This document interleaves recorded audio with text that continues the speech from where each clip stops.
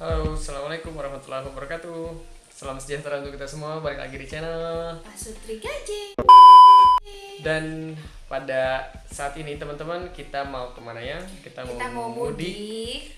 hmm, ke rumah eh, orang tuanya aku Ya. Yaitu di Padaherang, Jawa Barat jadi nanti kita pakai motor, aku pakai motor karena eh, dari sini jaraknya itu ada 32 kilo ya Ya, kurang Ya. lebih berapa menitan ya? satu jaman Satu dari jam. sini ke tempat orang tua aku itu jalan provinsi ya lewat jalan raya gede Eh, tapi sering nggak pakai motor karena saat ini kalau biasanya kita rider ya kita pasti pakai motor tapi saat ini karena istri sedang mengandung jadi dia naik Angkot. naik angkot. Yuk kita mudik kita merayakan idul adha di rumah aku teman-teman. Sampai jumpa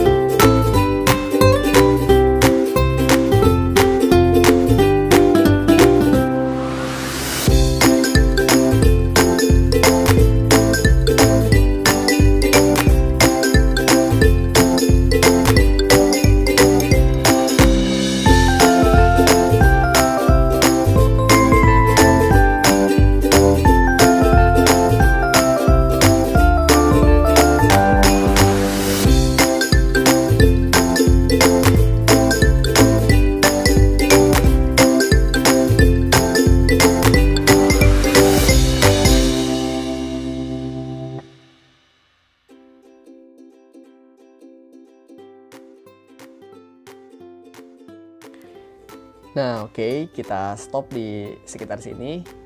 Deket kan dari rumahku? Kurang lebih hanya berjarak 500 meter dari rumah subsidi ke eh, jalan provinsi, teman-teman. Jadi nggak mesti ya rumah subsidi itu ada di pelosok. Tinggal kita pintar-pintar milih aja. Nah, buat kamu anakku nanti, ibu sama ayah itu kalau mau ke mana-mana pakai kendaraan umum pada saat ngandung kamu. Sebenarnya ada bis ya yang bisa langsung nyampe ke depan rumah ayah. Tapi ibu nggak mau karena terlalu berguncang-guncang kalau pakai bis. Jadi ibu sama ayah pilih pakai angkot aja yang slow, santai, uh, bisa nikmatin perjalanan gitu ya dan ter- nggak terlalu uh, terburu-buru kalau pakai bis kan biasanya suka buru-buru ya. Terus ayah ngikutin deh dari belakang. Nah rumah subsidi aku berada di kota Banjar. Ini ada di perbatasan kota Banjar masuk ke Kabupaten Ciamis teman-teman. Jadi sebenarnya kota Banjar ini diapit oleh Kabupaten Ciamis.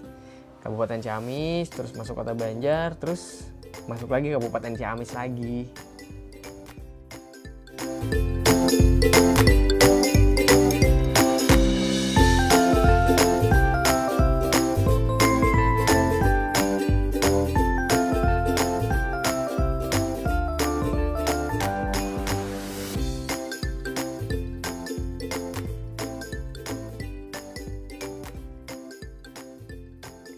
Untuk mudik kali ini kita harus terpisah dulu dari ayah ya sayang. Karena kita ingin kamu lebih aman, kamu lebih nyaman juga Sehingga ayah dan ibu memutuskan untuk ibu naik angkot dan ayah naik motor. Namun kamu tidak perlu khawatir sayang Karena ayah selalu siap siaga berada di belakang angkot Memastikan bahwa kita baik-baik saja Ketika angkotnya berhenti, ayah juga ikut berhenti. Ketika angkotnya jalan lagi, ayah pasti ikut jalan lagi. Memastikan juga supaya kamu aman sampai tujuan akhir dari angkot atau pemberhentian angkot dan dilanjut lagi kita naik motor sampai ke rumah nenek ya. Terima kasih ayah.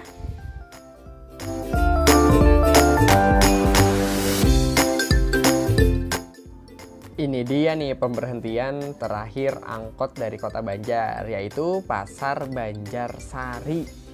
Nah, dari sini perjalanan masih dilanjut kurang lebih masih 15 menit lagi pakai motor.